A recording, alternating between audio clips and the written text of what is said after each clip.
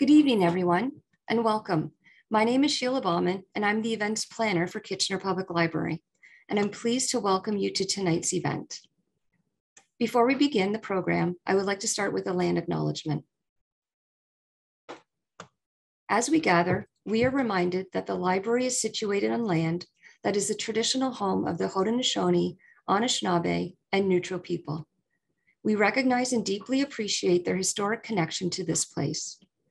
We also recognize the contributions Indigenous peoples have made in shaping and strengthening this community. We are grateful for the opportunity to meet here and reaffirm our collective commitment to make the promise and the challenge of truth and reconciliation real in our community. At this time, I would like to introduce and then invite Kamal Al-Solaylee to the screen, who will introduce tonight's 85 Queens special guest.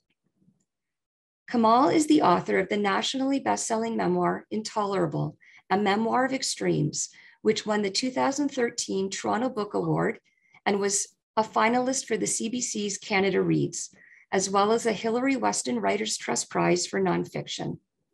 His second book, Brown, What Being Brown in the World Today Means to Everyone, was hailed as brilliant by the Walrus, Walrus magazine and essential reading by Globe and Mail a finalist for the Governor General's Literary Award for Nonfiction, as well as the Trillium Book Award.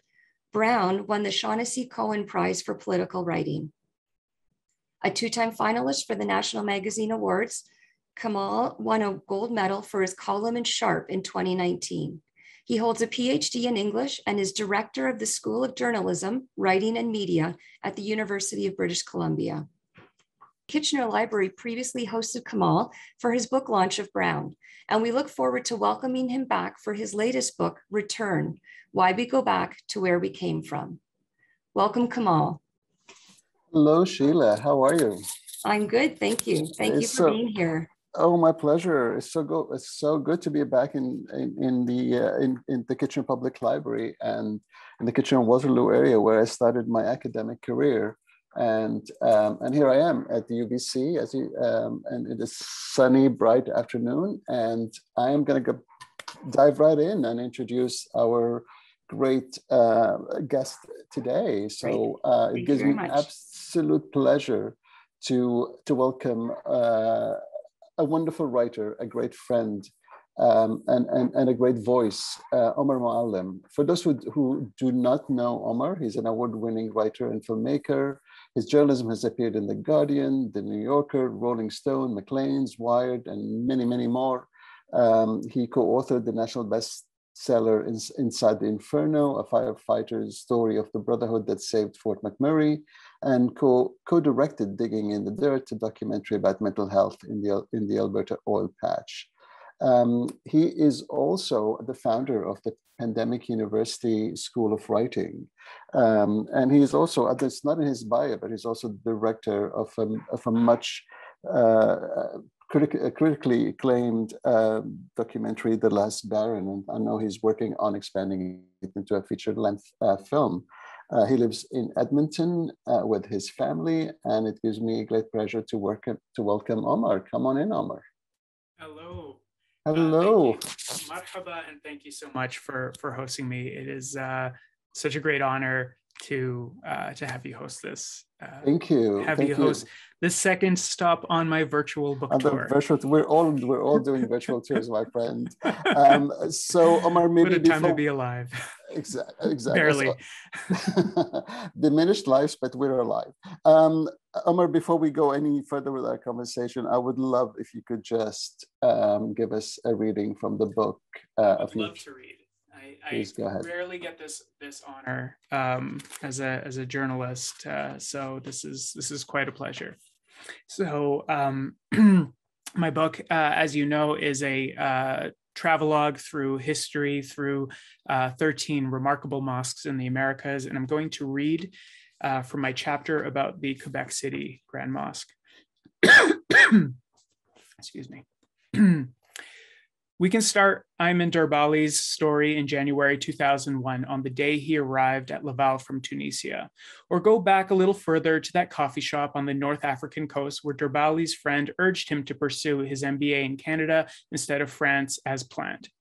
We could begin with his childhood amid a destabilizing nation, or on his birthday amid a hopeful economic boom, or we can begin in 1881 with the French invasion of Tunisia, a tiny wedge of the Maghreb, the place of sunsets, that introduced the common language of another colonized land that would siphon the brightest minds of the Maghreb a century later.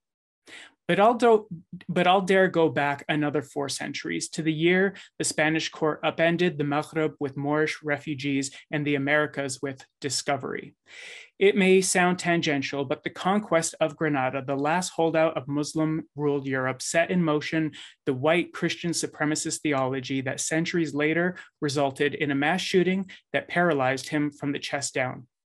That deep rooted racism was exactly what Derbali hoped to avoid when he applied to Laval University against his father's wishes for him to study closer to home.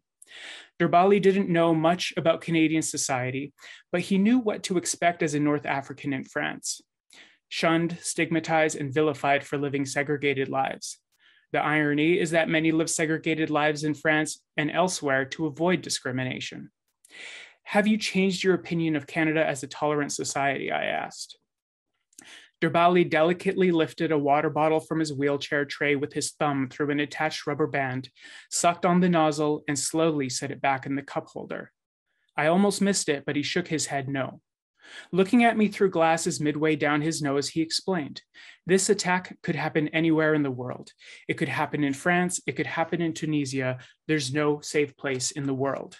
The difference, Derbali said, was that only in Canada would there be such national solidarity against racism. Since the attack, the now unemployed IT specialist rediscovered his purpose in anti hate advocacy. He's a frequent guest speaker in college classrooms to discuss the nature of hate crimes and sometimes debates the difference between free speech and hate speech. But the most satisfying work is at high school conferences or wherever he finds a Muslim audience that he can encourage to take up civic participation. If we want to if we want to protect our children from hate crimes, he said softly, we have to be engaged in society. You have to forget about the idea of Muslim services. We have to be a more active community. Derbali then requested we pause a few minutes so he could get in his duhur prayer in before the afternoon window closed on it. He did not excuse himself from the room or unravel a prayer rug. He stayed within three feet of me and adjusted his motorized wheelchair 10 degrees to his right with his toggle toward Mecca. Paralyzed from chest down, Derbali used the strength of his shoulders to lift his twig like hands as close to his ears as he could get them, beckoned God with Allahu Akbar, and then let them drop onto his stomach. I watched him improvise the prescribed movements of prayer stand, bow, stand, prostrate, sit, prostrate, stand again. He felt these motions in his muscles as he hunched his neck instead of bending forward, and the faintest pressure on his fingers as he spread, spread his hands a few inches apart in place of pressing them onto a rug. He raised his right index finger slowly, declaring his oneness with God and the oneness of God, exactly as he had tens of thousands of times in his 42 years. Watching a man worship like this, upright and face forward, felt too sacred and intimate. Part of me was unnerved by literally coming face to face with the religion I'd abandoned. Another part of me felt like I'd intruded on his private conversation with God. Most of all, I didn't believe I'd earned the privilege of seeing a grown man's naked vulnerability, his ego laid bare before me. But I had misread this moment as a feeble struggle instead of an act of defiance. So I'll leave it there. Thank you for that. Thank, thank you so much, Omar. That, that's in a book full of powerful and memorable encounters, there is one uh, that that really sticks out for me, and I'm so glad you chose that. And it's with something we probably will return to to this part of the conversation, to this part of the book later on in our conversation. Let me just kind of uh, guide guide the our viewers here, and I, I believe that every book has an origin story. Um, and I'm just I'm wondering if you can if you can tell us uh, what is the moment in which the you know even the idea of the book. We're going to go from idea to execution shortly but maybe we can begin with the idea. I remember you and i talking about it yeah. in edmonton about four years ago and i remember telling you don't tell a soul you're working on this book because i don't want yeah, i don't want anyone to steal your idea. So maybe we can begin with that moment if you don't mind. Well so that was um yeah, I mean, I think that when I spoke with you, I was finally starting, the pieces were finally starting to come together at that point. But the origin of the book was, you know, quite nebulously. I felt like there was um, an urgent need to uh, do something to stem the uh, stem anti-Muslim hate. And uh, you know, my my journalism was not really focused on this uh, you know previous to 2000 and i'd say late 2015 sort of with the the twilight of the harper years that very nasty uh, campaign what i call the barbaric practices hotline campaign. Um, but I, you know, with with that and with the rise of Trump and the Syrian refugee crisis and the rise of ISIS-inspired attacks and the growing toxicity of social media, I just couldn't shake it. I couldn't get it out of my head, and it, it just kind of consumed the focus of uh, my thoughts, if not my writing. Um, so I, I knew that when the time came for me to write uh, my next book, it would have to be about this conversation. You know, part of that also was because as a you know as a teenager and as a young man i had very um you know very militantly uh shaken off any you know islam and any organized religion from you know from from my being and i became one of those uh uh, outspoken, you know, militant uh, new atheists, if you will, you know, the ones that that look for every opportunity to tell you uh, that they don't believe in God and there is no God. Um, and a lot of I think that that anger was uh, was maybe coming from a place of internalized racism, a place of just feeling like I was alienated and didn't belong. Not necessarily because people made me feel that way. Certainly there was you know moments like that, but I think just it came from this desire to be like everyone else and so you know shaking off uh, you know my my faith like a like a flaky old skin in the desert was just kind of my way of uh, of of appealing to you know for acceptance.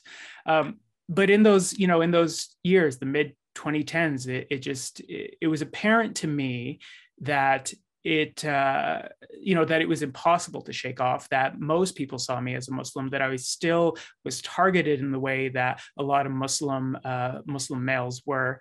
Um, and also that it didn't change the the fact that there was a target on my family.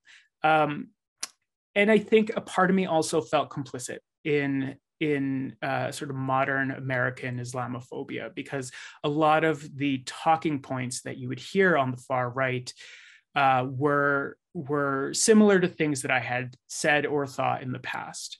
So this was in a way, uh, you know, uh, on the theme of, of religion, this was sort of an act of atonement, if you will.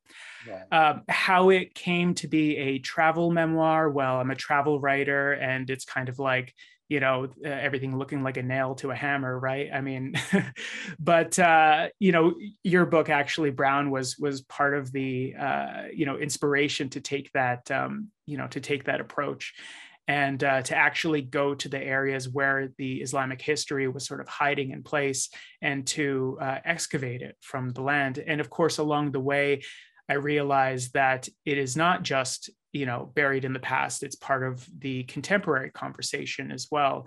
And that the communities that are there right now um, are still having a bit of a conversation with history. And so i wanted to know how those uh, you know how the history sort of shaped them i think and how it shaped their evolution as a as a muslim community and so you know it just kept getting more layered and layered and eventually it started to become more about the uh, also about like just the the rich diversity of islam.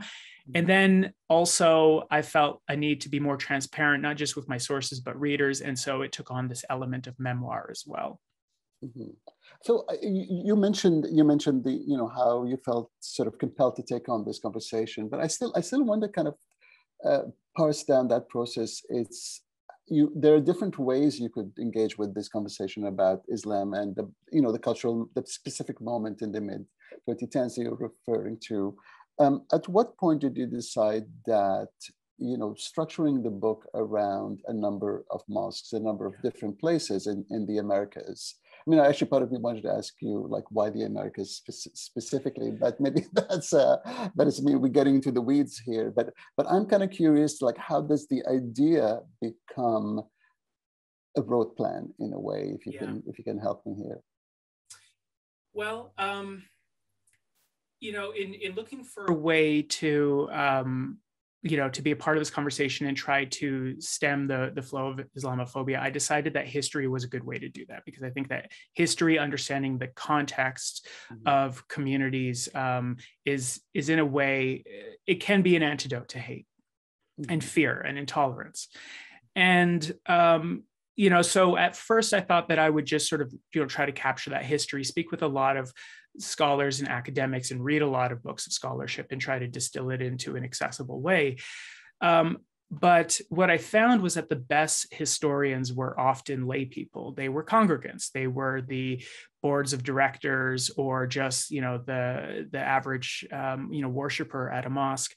And so you know, after finding myself in uh, mosques for the first time, uh, you know, consistently in uh, in a very long time, you know, maybe since spending some summers in the Middle East, I hadn't been in that many mosques. Mm-hmm. Um, I think I just kind of uh, I started to the the mosque started to feel more like a character, I guess, and so mm-hmm. I wanted to um, you know, I wanted to have a good, strong sort of framework scaffolding for this book, mm-hmm. uh, and you know, at, uh, create a, a, feeling of being, you know, in the present moment with me. And mosques are just such such rich environments. Even the the very humble, you know, sort of street facing, you know, uh, ones that you find, um, you know, in in the middle of a plaza or something like mm-hmm. that can be can be quite extraordinary uh, to be inside of and also in a way they they can act like time portals. For for me as as a literary technique they can act as time portals where you can go into a mosque and from this setting you can transport 400 years back in time back to the present another 200 years or 50 years and you can keep coming back to it. And it just feels like uh, it, it, feels like you have uh, a more grounded, you know, place um, in this book as a as a as a reader. Certainly felt that way as a writer. Mm-hmm.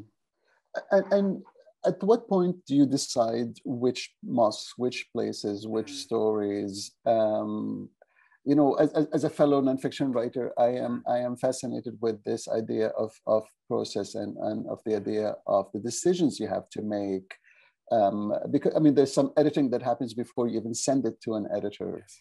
um, and some decisions you have to make. Particularly, I'm I'm I'm I'm, I'm sort of very interested in. Um, uh, maybe you, uh, you can tell us more about the logistics of a book of this magnitude, where you travel to multiple countries and, and several like several stops in Canada, several stops in the U.S. Um, and while you're obviously, a, you know, you're a father of two children and you have to make a living at the same time. I don't know. I, I know wow. from book writing that you don't make your living from uh, from writing books, and yeah. very few Canadian writers do. I, you know, I don't want to overwhelm you with that question. No, no, no. I'll, I can. I'll answer it in in probably a little bit of a, a scattered way because there's a there's a bunch of different answers to this. Mm. Some of the mosques I knew immediately, these are places that I wanted to sort of center uh, this, the, the chapter on. Mm-hmm. So, um, for Islam, for for example, the uh, Islamic Center of America in Dearborn is is a very famous mosque. At the time that it had opened, it was the largest one in North America. It is, I think, seventeen million dollars.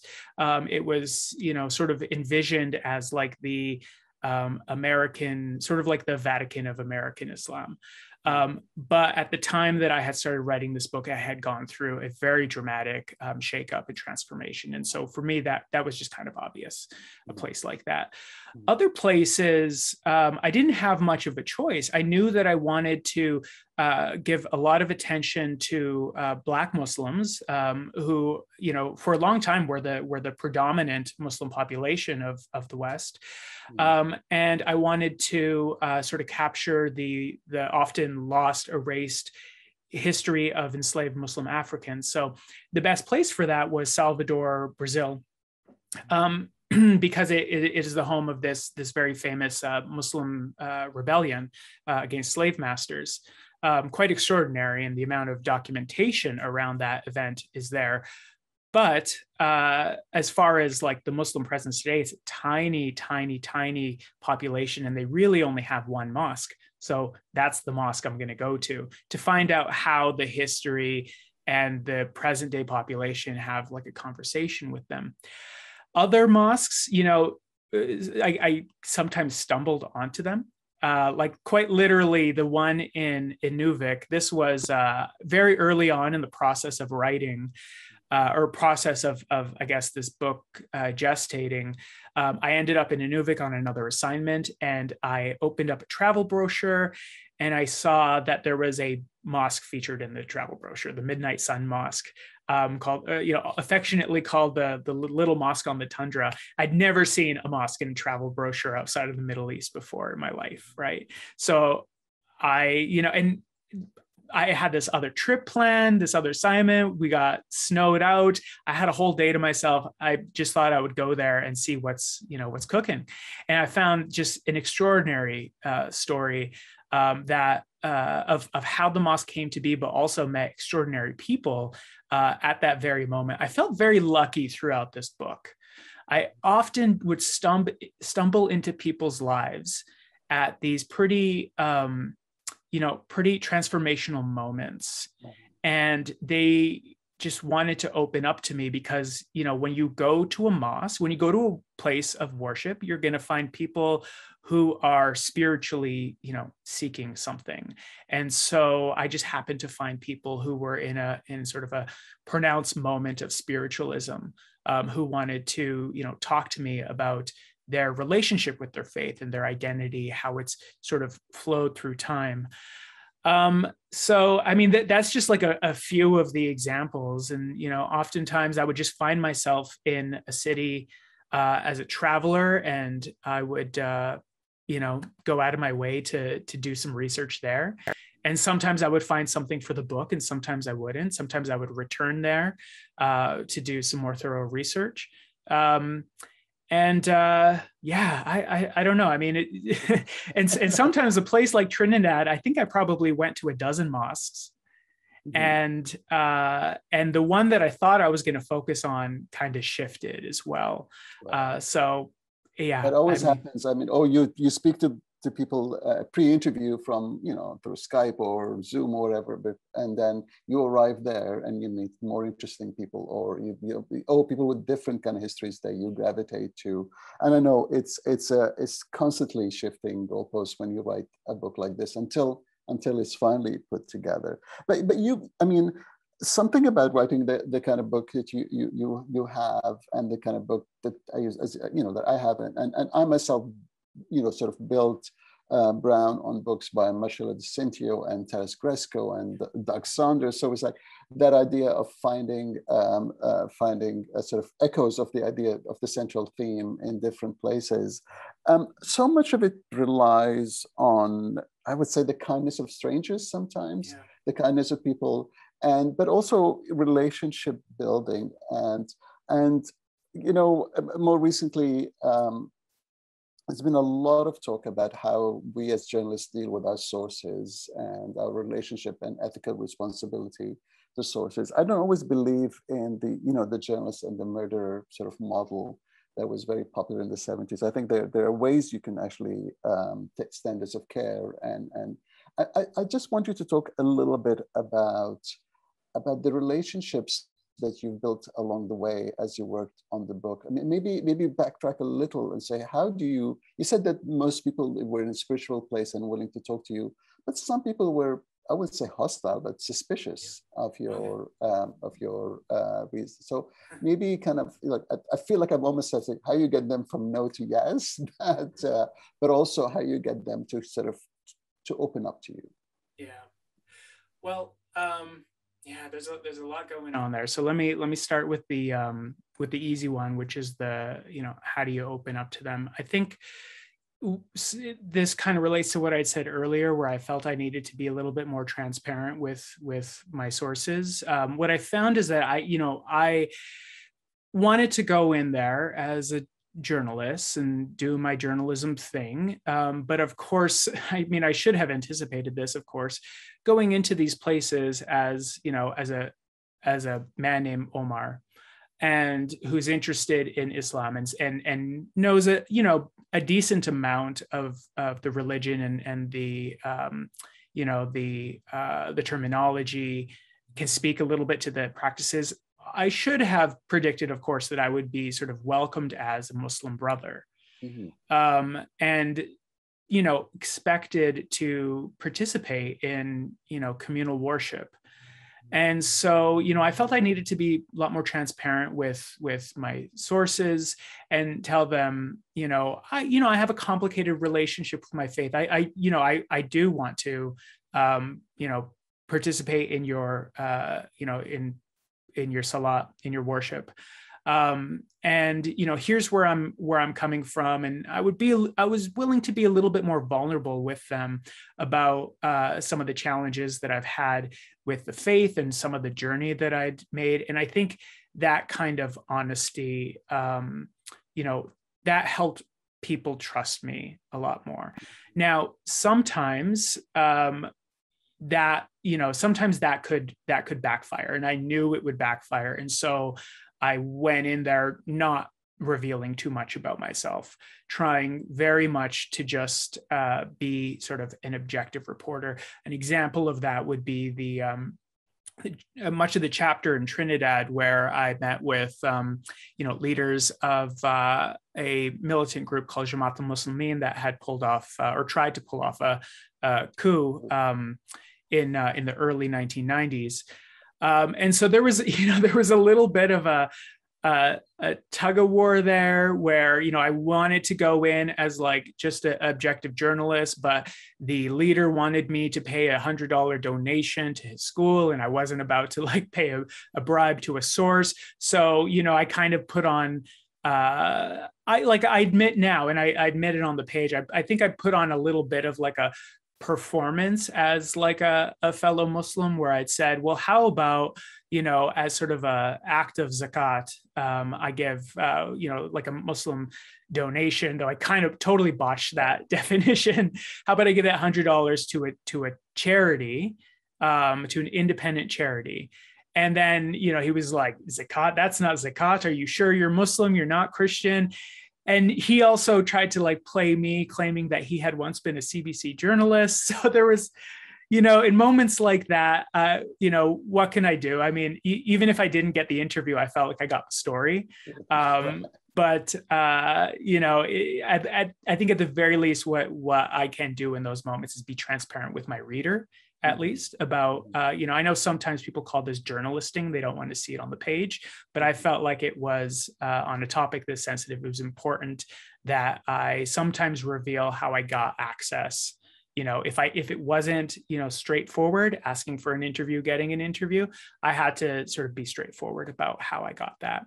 And that that came you know there was a couple of write arounds in this uh, communities that really did not want me to uh, profile them at all. Sometimes it often surprised me who wasn't that, uh, which communities didn't want to be profiled in this book about, you know, Muslim pluralism.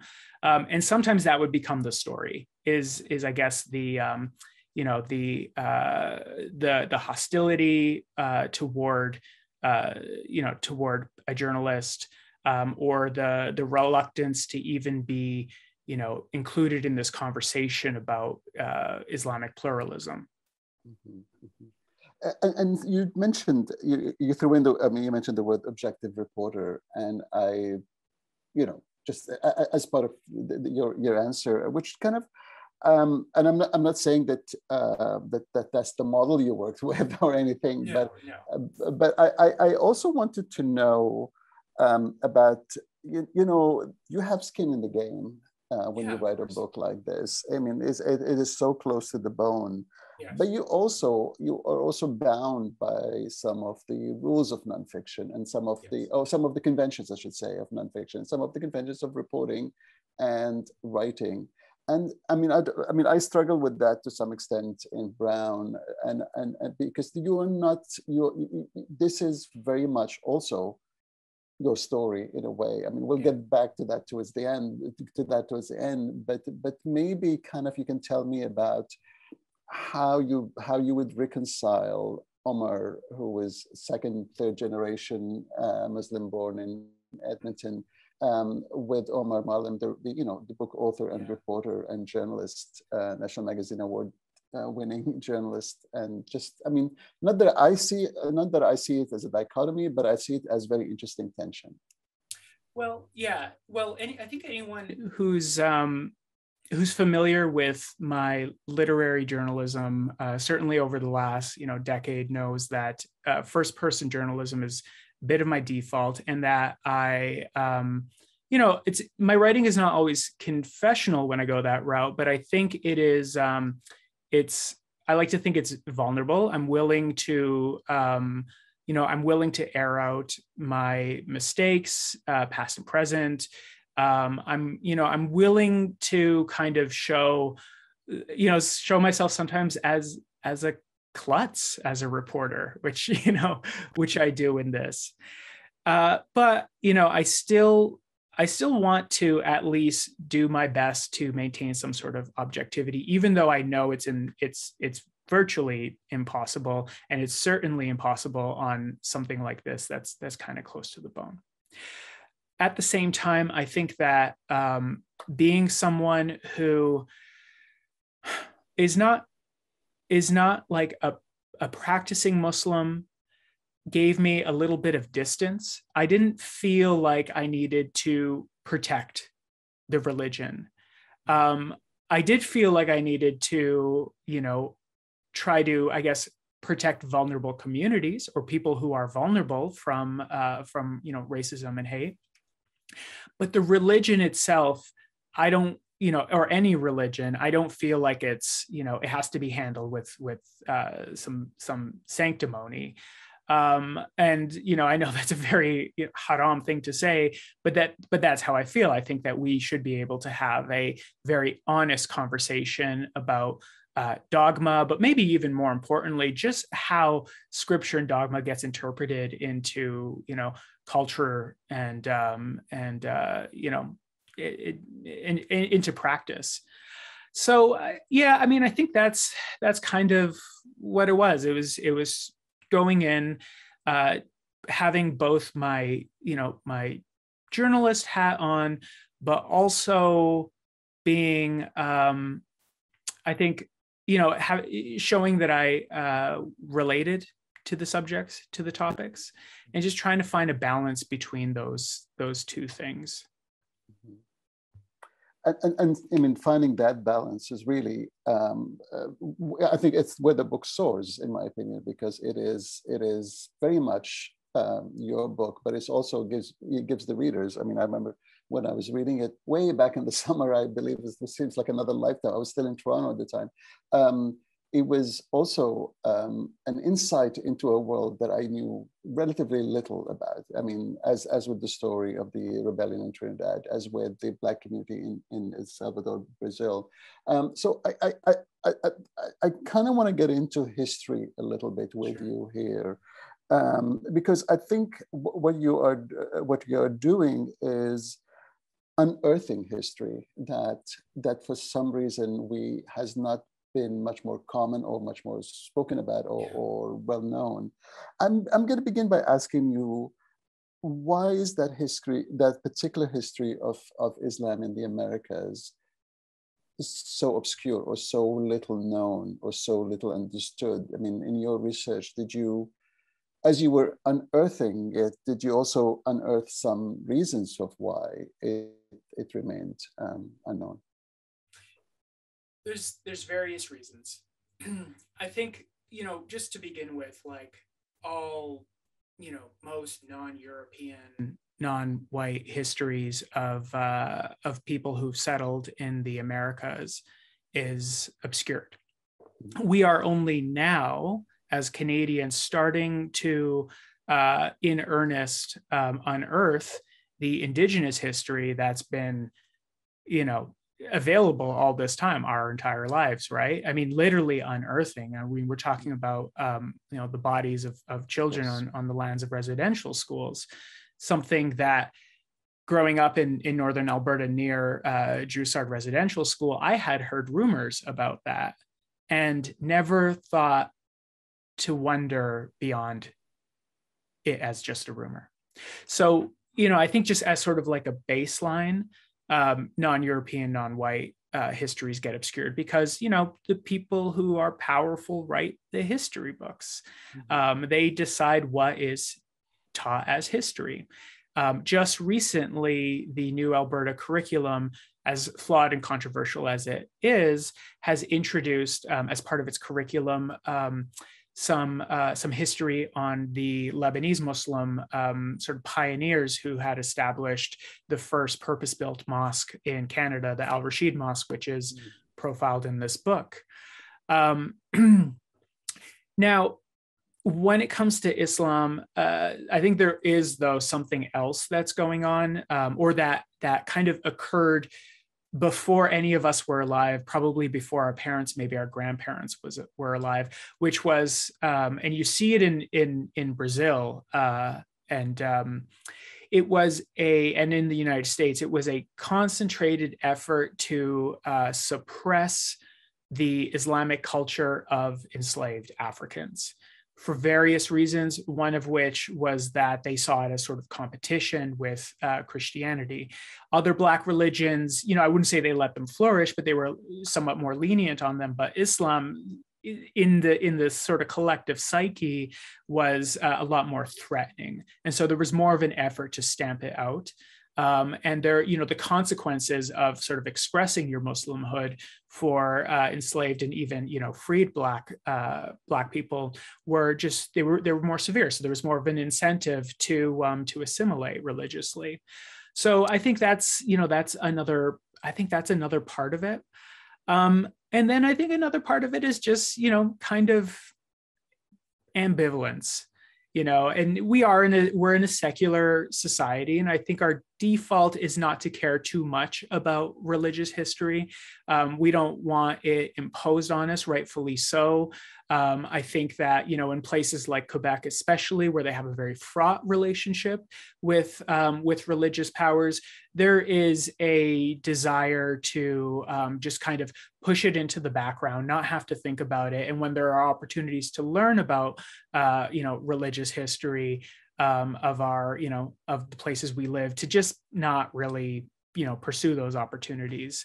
Um, so i think those those are some of the reasons. I'm sure there are there are probably many more. Right. But but t- t- uh, like tell us uh, tell us a little bit about um, the, you know the very act of uh, of reclaiming that history. I mean did you see yourself as um, uh, I mean, you, you, you, mentioned travel travel writing, but did you also see yourself as a sort of uh, amateur historian in a way, or yeah. as a as a little bit of wanting to to sort of revive a certain past? You know, I, at the risk of sounding a little bit pompous, I, I, I feel like every, just about every time I have an assignment that is about uh, culture somehow, mm-hmm. I have to be a bit of a, an amateur, you know, historian. Um, you know you see you see it in, in my in my new documentary about you know about burger barons this like fast mm. food restaurant in in mm-hmm. alberta with a you know with a with a cult following and and uh, that's become sort of part of this lebanese tradition it you know the i don't even think about it as soon as i want to tell a story about fast food joints i need to get into the history of fast food joints and of course i find something that is absolutely you know integral to our current understanding. I've done that with you know articles about say you know why uh, why millennials are not getting their driver's licenses at the same rate that uh, gen xers or boomers did. Um, i want to go into the history of car culture. Um, so yeah i mean with but of course with this it was a lot more intentional because you know i going back to when the first seeds of uh, a book or a book like this appeared in my head um, as wanting to add to the conversation to stem the flow of Islamophobia, there's already a, a, a great collection of books and films uh, on this subject and art on this subject. I looked at the landscape and I felt like what's missing is the historical context of these mm-hmm. communities. Mm-hmm. And I knew personally what it did for me um, as a, you know, as a as an Arab Muslimish person to know more about my own community's history. When I learned that, say, my three of my four great grandfathers had uh, lived in the Americas, one had been part of, you know, the Saskatchewan uh, sort of early uh, 1900s homesteading community. One had worked in in Ford's car factories. I felt a lot more Canadian. I felt a lot more rooted in the land here. It was as if I could, learning that information sort of made my legs grow through the ground more. And so, knowing what it did for me, I, I believe that this book can do that for other people from Muslim backgrounds who feel untethered to, to the land. I mean, always when I was reading your book, I remember if if Samra Habibs had not taken the title "We've Always Been Here," that could have also been a subtitle yes. for your book. Like, damn, it's, it's a, it's because yeah. you know your book is really, among other things, it's about. Uh, it's not just that it is. Uh, it, it, it's a long and continuous history yes. that has not just shaped uh, as the, as the title. I'm just looking at your the poster uh, behind you. It's just it's not just shaped the uh, the community, the Muslim, the, the Ummah, the Muslim, the, the larger Muslim community, but but the America, but the politics and the conversations, and of course, nothing is more powerful than uh, an example of that than what happened in North America after 9/11.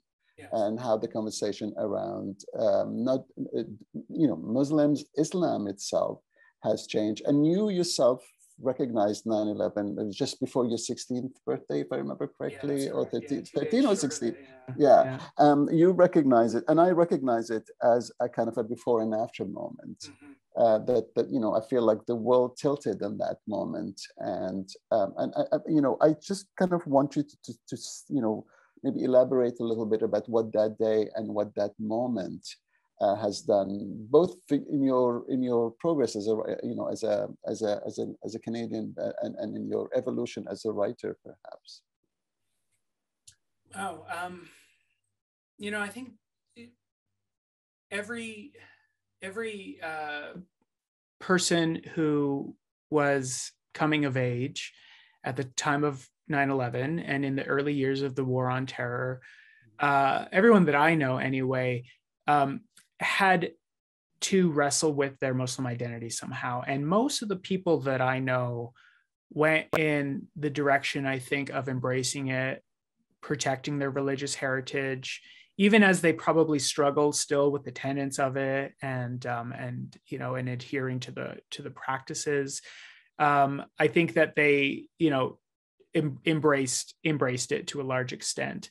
But there's also another sort of group of uh, millennials um, who came of age at that time that kind of got, I think, kind of tugged in the other direction of really wanting to distance themselves from their faith to sort of avoid any of the perceived possible harms that could come out of this moment. And I certainly fell into that group.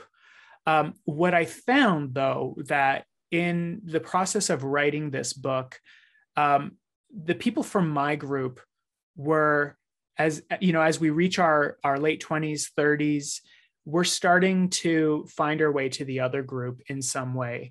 Maybe not always um, through a dedicated practice to uh, you know muslim muslim traditions to islamic rituals though sometimes that. More often just a um, a a i guess a a uh, unavoidable acknowledgement of relatability that that uh, we whether or not we we sort of accept the dogma we still are like you and that what hurts you also can hurt us. And i found you know a number of people who uh, said that you know they were starting to reclaim their faith in the in the wake of Donald Trump. This was more in the United States. In the wake of Trump they were starting to reclaim their faith largely as an act of defiance.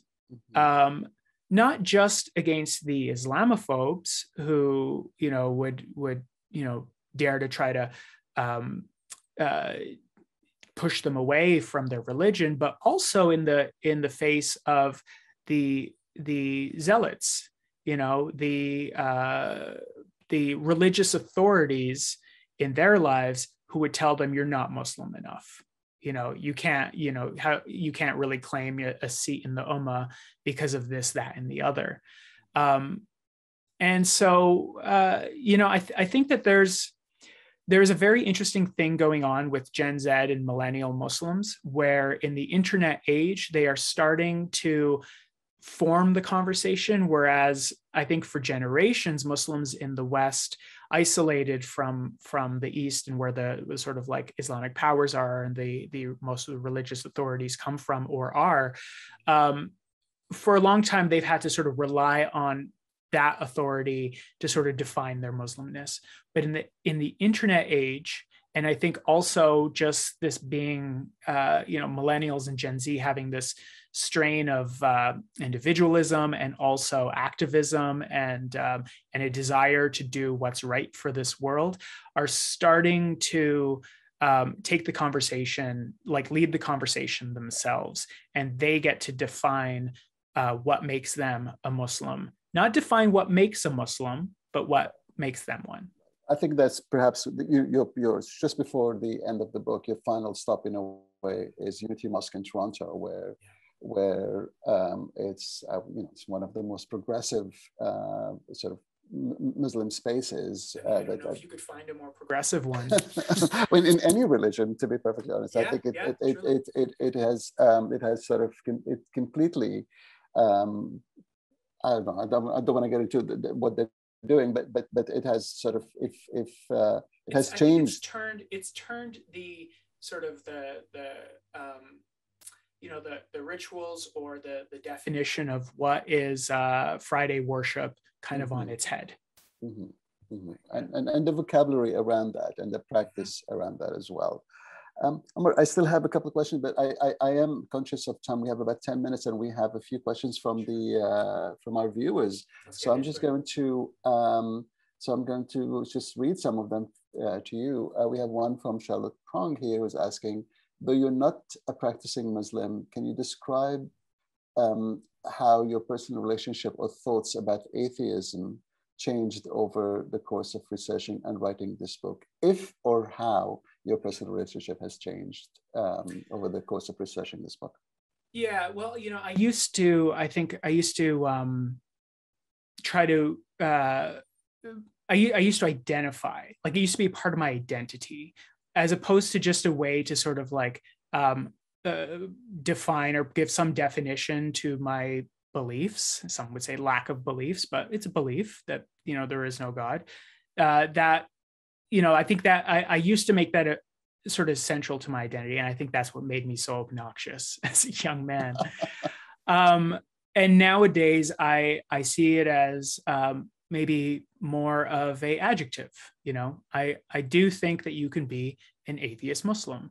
Um, not everyone would agree with that. I think maybe most people would disagree with that, and that is fine. But there's always been a place in the Ummah for people who may not necessarily believe uh, in any black and white terms the uh, the Quran, but uh, draw from it inspiration, draw from it some meaning for life, for how to engage with the world, engage with our families, engage with other people. And there are practices that I cherish um, and that I have always cherished. The you know the fact that I've you know even though I hadn't gone to uh, mosques uh, for Friday Prayer for a very long time before writing this book. The fact is, I always cherish being in a mosque. I love the environment. I love uh, praying in unison with with other brothers. I love at the end of prayer looking over to my right and saying peace be upon you and shaking a strange man's hands and looking to my left and stranging and and change uh, shaking a strange man's hands and saying peace be upon you as well and to each other um, so i mean it's it, it, has shaped my values in a lot of ways and in a lot of ways i'm still figuring out i think mm-hmm. um and so i you know i think i just don't feel like i should have to purge it um that i should be able to reclaim at least you know parts of it as as part of who i am because they are mm-hmm. i don't i mean among other things it's just it some well, in my in my opinion sometimes we don't have a choice i mean it's in our faces it's in our yeah, it's in our names. yes, yes. Like when, I mean, when I travel, yes, you know, when I travel, there have been, you know, I, I, I recount a couple of moments in this book where it, it really doesn't matter. It, it really doesn't matter what's inside my head because someone else is putting those, you know, beliefs in there for me. Right. Exactly. So I think this kind of comes back to wanting to reclaim it as an act of defiance. It's like, okay, if you're gonna like uh, per, if you're going to treat me like a like I'm a spooky Muslim, then let's like let's do it. okay, right. So I have a couple questions with Melissa. I, I, I find one uh, uh, they're they're both great, but one of them is really also uh, hits uh, uh, on a note for me. Growing up, what stereotypes do you remember being most asked or assumed of you? I think, I think one both. of the earliest stereotypes that I just kind of went, huh? Was that I was going that I was uh, going to get an arranged marriage or that I that I was already like in an arranged marriage. And I'm talking like when I was 10, you know, 10, 11.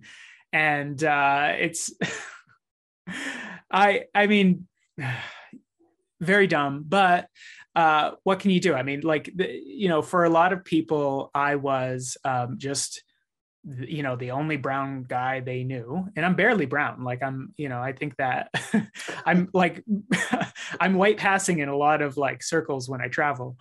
Um but you know I, I, mean i was the brown guy and what what did they know? You know they knew uh apu Nahasapeemapetilon mm. and um and they knew about arranged marriages and you know that kind of like conflation of the so-called Muslim world. There's a word for it. It's Orientalism, mm. but uh, you know, people growing up in uh, in northern Alberta, like it's it's not it's not the most worldly place or cultured place, and I had my own stereotypes about people of of other cultures. So I mean, I think that that was like one of them. The one though that that has followed me um, probably you know followed me the longest and the one that i grapple with the most is the stereotype of abusive middle eastern men that's mm-hmm. that's the one that like really like gets me um and that that has come up you know uh you know before before i was married it would come up with with ex-girlfriends it came up with my my now wife when we started dating where people would sort of like warn her or mm. kind of you know uh straight up say like middle eastern men don't know how to treat their treat their women which is a quote by the way but um and a very problematic one at that. But that's you know that's one of those things that it's uh it's really internalized and it looms over me.